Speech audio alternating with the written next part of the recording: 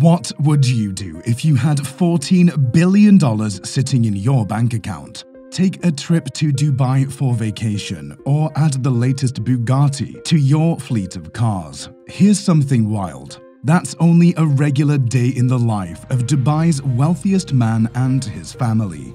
If it's luxurious, if it's flashy and classy, Dubai's royal family has it all and more. In this video, we will bring the full tea on what it's like to be the King of Dubai and how the royal family spends their fortune in the famous City of Gold. Before we begin, hit the like button and subscribe for more exciting content from High Luxury. Dubai, a former fishing village, has developed into a paradise where the wealthy and famous dine and wine in the finest hotels, yachts, and islands. From the richest boxer in the world, Floyd Mayweather, to America's most famous sisters, the Kardashian girls. These celebrities have had a taste of the Dubai glamour, but no one does it better than the elites in Dubai.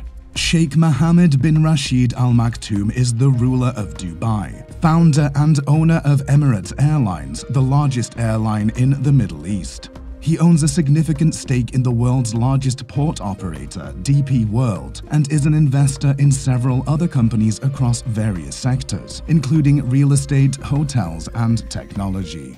Mohammed comes from a long line of Dubai rulers. His lineage, the Al Maktoum family, is Dubai's ruling family and descendants of the House of Al Falasi. He is the third of four sons of Sheikh Rashid bin Saeed Al Maktoum and took over the rulership of the Dubai Kingdom after his brother's death in 2006. Presently, Sheikh is the Vice President, Prime Minister, and Minister of Defense of the United Arab Emirates. The Al Maktoum ruling family is strong and wealthy, and most of their fortune came from the sale of oil in the 1970s. They are descendants of the Bani Yas tribe, of what is now the United Arab Emirates, who were the most powerful and strategic of the familial clans of ancient Arabia. Around 800 members of the Al Maktoum family broke away from the main Bani Yas family in 1833. They took over the emirate or province of Dubai, establishing themselves as the reigning dynasty of this area. According to the laws of Dubai, the ruling family owns all undeveloped land in Dubai, allowing the family to prosper from real estate development. But Sheikh was not born with a silver or gold spoon.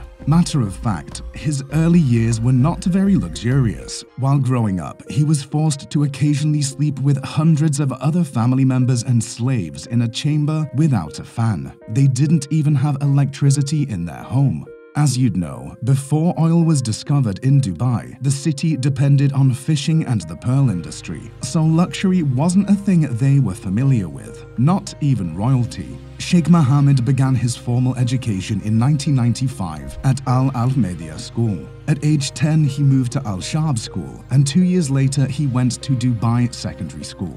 In later years, he studied at the Mons Officer Cadet School in Aldershot, now part of the Royal Military Academy Sandhurst, passing out with the Sword of Honour as the top Commonwealth student. When he returned from military training in the UK, his father appointed him as the head of the Dubai Defence Force. He was only 20.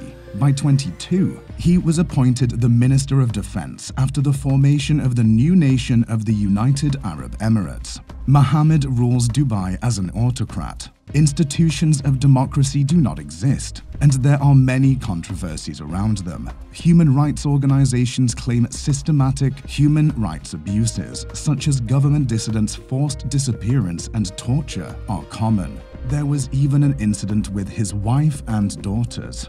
Sheikha Latifa tried to escape from home at some point. She recorded a video in which she said she was running from her family, accused them of abuse, and claimed her father was involved in several homicides, including killing his deceased elder brother's wife. In June 2019, it was revealed that Princess Haya bint Hussein, one of Sheikh Mohammed's wives, had left Dubai and was now seeking political asylum in Germany with her two children. A UK family court concluded in December 2019 that Sheikh had, on the basis of a preponderance of the evidence, planned the kidnappings of his daughters Latifa and Shamsa and had continued to uphold a system in which both were denied their freedom. The court also concluded that Mohammed had taunted Princess Haya, the mother of his kids, following her adulterous liaison with a bodyguard by intimidating her. Away from the controversies, Sheikh is a true businessman. He has overseen the development of several companies and economic assets for Dubai, with a number held by two companies under his ownership, Dubai World and Dubai Holding. He founded the Emirates Airline, which currently has a shirt sponsorship deal with Arsenal worth 200 million pounds and a four-year shirt sponsorship with Real Madrid FC worth £70 million per year, while serving under Dubai Civil Aviation.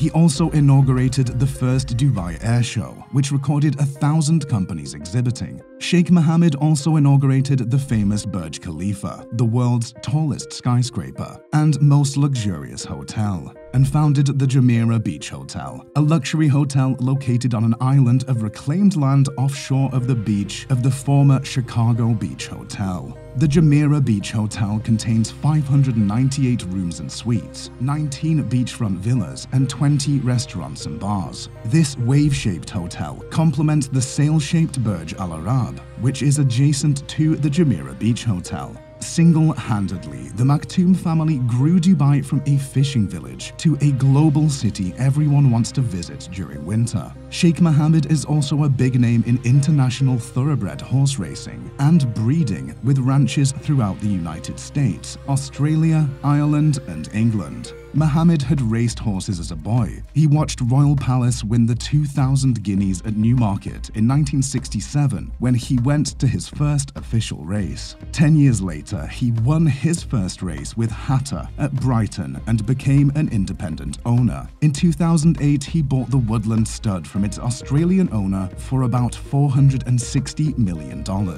All work and no play makes Jack a dull boy. So, let's see what Mohammed does when he's not busy making money for his kingdom. Sheikh Mohammed has a history of lavish spending, from vacations to weddings. His wedding to Sheikha Hind bint Maktoum bin Juma Al Maktoum, the mother of 12 of his 30 children, was Dubai's first significant public event. The extravagant five-day wedding ceremony featured 127 camel races and aerobatic shows. A 20,000 seat stadium was constructed strictly for this wedding. The total cost of the ceremony is estimated at $100 million.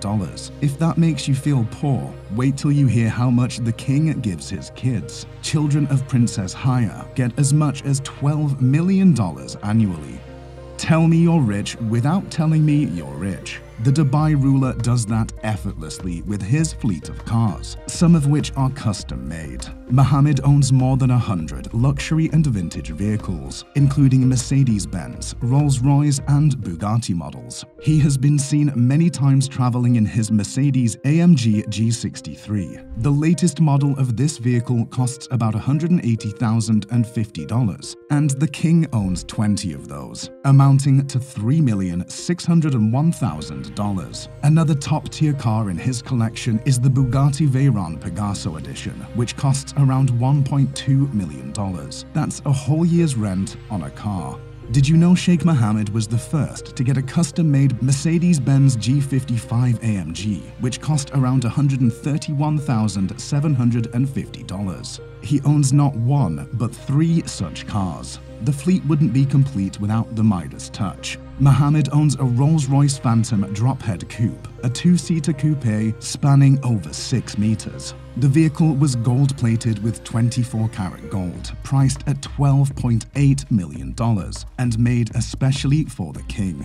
When he's on water, he cruises with his 531 feet long vessel that costs $400 million. The mega yacht comprises 7 decks and 50 lavish bedrooms and can accommodate around 24 people with 80 employees. Sheikh Mohammed has more houses than we can count and maybe more than they need. According to a study from The Guardian, the Dubai ruler has amassed lands and properties in Britain that may surpass 100,000 acres, worth more than $119 million, making him one of the country's wealthiest landowners. He also has properties in Rome through a company registered in Luxembourg. The exact number of the properties is unknown, as most of the properties connected to him are owned through offshore companies in the tax havens of Guernsey and Jersey. Buying large homes is a rich people thing, and Dubai's super rich spend a lot of money on their homes. The billionaires and millionaires in Dubai take fine living to a new level, with custom luxury fixtures and decor created by famous designers from across the globe.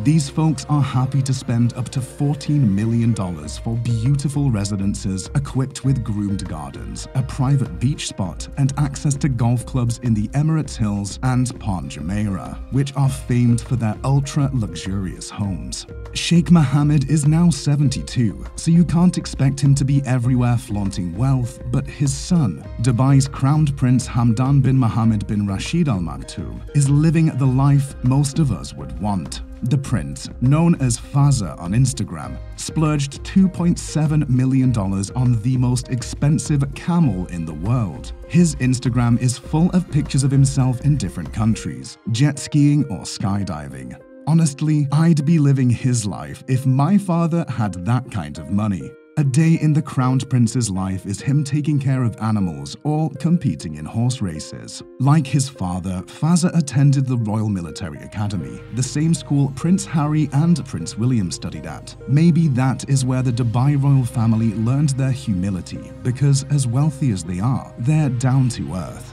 Occasionally, the royal family goes into the communities to relate with its subjects. The crowned prince is known for living a simple life, portraying himself as a selfless leader that cares about his people. He once paid the hospital bills for a Dubai citizen in need. Sheikh Mohammed spends liberally on himself and his family members, but he also believes giving back to society through charitable donations is important. Sheikh Mohammed has funded infrastructure projects throughout the Middle East that provide water, electricity, and other services. During COVID-19, Sheikh Hamdan presented a stimulus package worth more than $400 million. With such an astounding amount of money in the region and a huge opportunity to increase that wealth, this family is certainly making things interesting. We wish them the best of luck in their endeavors to make Dubai the most prosperous city in the world.